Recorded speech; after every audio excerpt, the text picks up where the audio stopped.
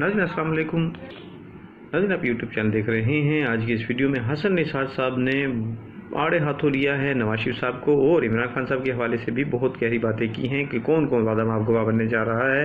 देखिए इस वीडियो में। पहले मुझे ये बताएँ कि सारे दोस्त मुझे 10-10 सेकंड्स देंगे फिर मैं बात का जवाब दूँगा। दस दस इंच से ले सर मैं दे दूँगी ग्यारह सेकंड ले लें।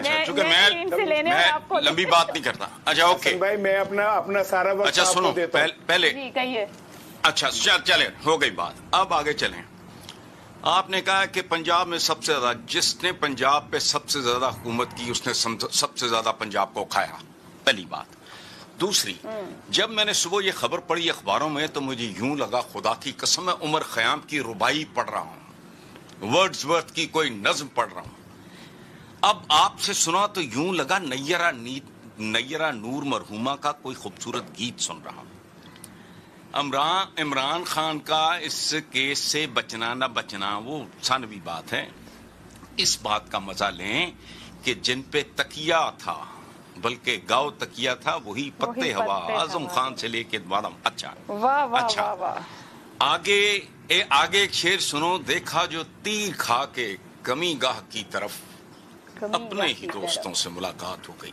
आपने एक इशारा बड़ा खूबसूरत दिया है। क्या जहांगीर खान तरीन से लेके अब्दुल अलीम खान तक और सरबर चौधरी चौधरी सरबर से लेके वो जो थे चंद नदीम अफसर चंद उनको लेट डाउन करने के नतीजे में इसे कहते हैं मकाफात अमल।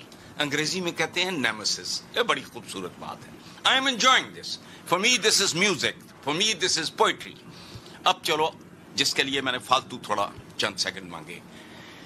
हमारे मेरे मेरे एक दोस्त हैं ब्रिगेडियर असलम घुम्मन वो सेक्टर कमांडर भी रहे फ्रंटियर में भी लाहौर में भी। रिटायरमेंट के बाद वो हो गए डीजी एंटी करप्शन या डीजी एफ़ आई ए वो मुझे याद नहीं। इमरान के इकतदार से पहले ब्रिगेडियर साहब ने किताब लिखी और मेरे पास तशरीफ़ लाए कि हसन भाई इसका आप दिबाचा लिख दो। तो मैंने कहा अच्छा मुझे पाँच सात दिन दो, मैं इतना माहिर नहीं हूँ अपने बहुत से लोगों लोगों की तरह। बगैर पढ़े मैं नहीं लिख सकता। तो मुझे टाइम दें। हो गया। दिबाचा लिख दिया। पर्ल कॉन्टिनेंटल में उसकी लॉन्चिंग हुई किताब की। इमरान लास्ट स्पीकर था। I was the second last speaker ये है इमरान का अलमिया। उसकी ट्रेजिडी एक्लीज हील कहते हैं इसे अंग्रेज़ी में। वो क्या? मैंने तकरीर की जो कुछ पीटीआई में चल रहा था तो मैंने कहा कि इमरान का बहुत बड़ा अलमिया है कि मर्दम शनासी इसके नज़दीक से नहीं गुजरी। देखो ब्रिगेडियर साहब ज़िंदा हैं अल्लाह उनको सेहत ज़िंदगी दी। और बेशुमार लोग थे पीसी का हॉल भरा हुआ था। खैर मैं चूँकि सेकंड लास्ट स्पीकर था इमरान आया तो उसने कहा कि एक बड़ा स्मार्ट जवाब था उसका जो मैं आज जवाब दे रहा हूँ। चूँकि मैं लास्ट स्पीकर नहीं था। उसने कहा कि हसन निसार कह रहा है कि मुझे मर्दम शनासी नहीं का मुझे नहीं है। मेरी कमज़ोरी है और मैं नहीं जानता तो इससे पूछें कि इसको कौन लेके आया था अब मैं चूँकि लास्ट स्पीकर नहीं था वरना मैं उसी वक्त बताता जो बाद में मैंने ब्रिगेडियर असलम गुमन को बताया कि साथ ये भी तो कहो कि लेके आए मुझे और मैं छोड़ गया। नाजिन थैंक यू फॉर वाचिंग आप लोगों ने As secretary information, as media advisor, in less than two और years. तज्जियाकार जितने भी हैं उनमें तमाम में ये बात आज मुकम्मल हुई। उस वक्त के बाद छोड़ने के बाद आप में से की बाकियों का तो मुझे नहीं पता। मुझे इनको दोस्त हैं मेरे बहुत प्यारे इनका इशार का मुझे पता है। कुछ लोग जो है इनको तनकीद का निशाना भी बनाते हैं क्योंकि मुख्तलिफ़ पार्टी से हमारी जो वाबस्तगी होती है और इस लिहाज से लोग कुछ पसंद भी करते हैं, कुछ नापसंद भी करते हैं, अपनी राय का इजहार वो कमेंट्स के ज़रिए करते हैं, कुछ लोग गुस्से का इजहार भी करते हैं, लेकिन तनकीद ज़रूर करनी चाहिए, लेकिन अपनी राय का इजहार भी करना चाहिए। बट एक दायराकार होता है पॉजिटिविटी का, तमीज़ का, उसमें रहते हुए ही इंसान को करना चाहिए।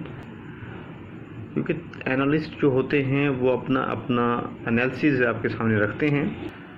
तो उनको आप पॉजिटिव लिया करें, ना कि उनको नेगेटिव लें और उसके बाद उनको तनकीद का निशाना बनाएँ। सो प्लीज़ कमेंट सेक्शन में कमेंट लाजमी करें बट पॉजिटिविटी के दायरे में रहते हुए। तो ना तो थैंक यू फॉर वॉचिंग आप लोग पसंद करते हैं हमारी वीडियोस को और हमारे चैनल को और आप लोगों की रहनमाई से ही हम आगे बढ़ रहे हैं। इन जल्द आने वाले वक्त में हमने आपसे वादा किया हुआ है कि हम इन ताला इमरान खान साहब की स्पीचेस को भी लाइव स्पीचेस को नशर किया करेंगे। इमरान रियाज खान साहब भी जब हमारे दरमियान होंगे और उनके भी एनालिसिस जो हैं दबंग होते हैं, वो भी जब आएँगे इन वो भी आपके सामने रखेंगे। तो नाजरीन, जो मौजूदा सूरत हाल चल रही है, अब इंटर्न सेटअप के हवाले से बातें हो रही हैं। कुछ लोगों ने तनकीद का निशाना बनाया, जो कि इसहाकडार साहब का नाम जेर गौर आया।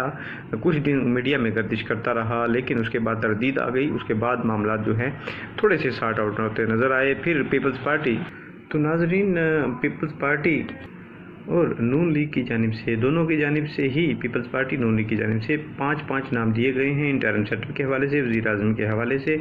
अब इनके में ऊपर जो है इतफाक़ राय कायम होगा। इनमें से कुछ नाम शॉर्ट लिस्ट होंगे, उसके बाद ही तभी इतफाक़ राय पाया जाएगा, तभी एक वज़ी अजम का नाम सामने आएगा। और आने वाले वक्त में देखते हैं आप ये इलेक्शंस की मुद्दत साठ दिन होती है और ज़्यादा से ज़्यादा आप नाइन्टी डेज़ तक लेकर जा सकते हैं। और इसके ऊपर भी और पीपल्स पार्टी का वाज मौक़ आ चुका है। वो 90 डेज़ से अब जाने को तैयार नहीं है और उन्होंने वाज कह दिया है कि अगर ऐसा हुआ तो हम इसकी मुखालफत करेंगे।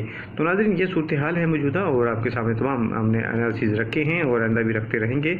हमारे इस चैनल को पसंद करने का बहुत शुक्रिया। दोबारा कहूँगा, बहुत बहुत शुक्रिया आप लोगों का और अपने राय का इजहार कमेंट सेक्शन में लाजमी किया करें और इन ताला जल्द इमरान रियाज खान साहब भी हमारे दरमियान होंगे। हमारी यही दुआ है और आप लोग भी रिक्वेस्ट करते हैं, आप लोगों से भी यही कि इमरान इमरान रियाज खान साहब की दुआ खास दुआ किया कीजिए ताकि वो अपनी फैमिली के साथ जल्द रबते में हों और जल्द अपने घर पहुँच सकें। थैंक यू फॉर वॉचिंग अल्लाह हाफिज़।